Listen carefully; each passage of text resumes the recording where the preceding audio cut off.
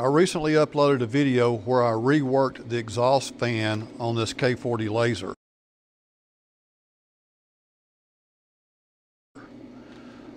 At that same time, I updated the platform, the working platform within the thing, to this grating material. Um, the only problem that I'm finding with it is that apparently I get some sort of bounce back off of the laser onto the material I'm cutting through, whether it be wood or leather, and it leaves a residue on the back of those, those items that I'm cutting. So I'm going to rework it yet again, and this time I'm going to make it an adjustable height bed.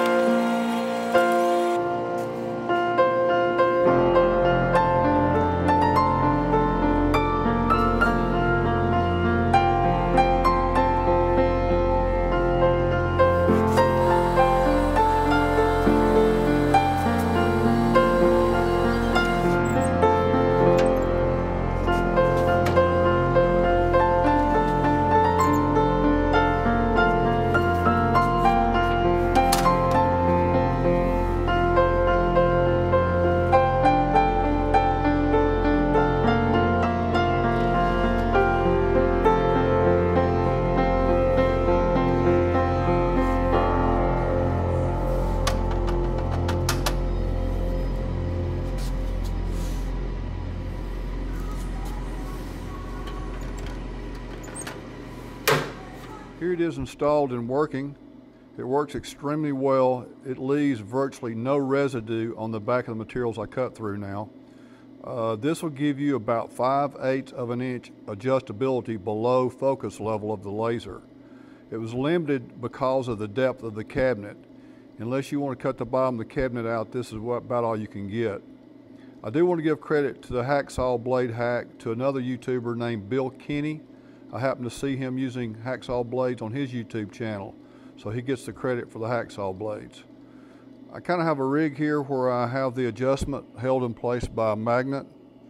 Um, works well for me, but because of the weight of everything, this thing will drop down uh, to its lowest level without some sort of stop or catch on the adjustment lever. But it works very well. Thanks for watching.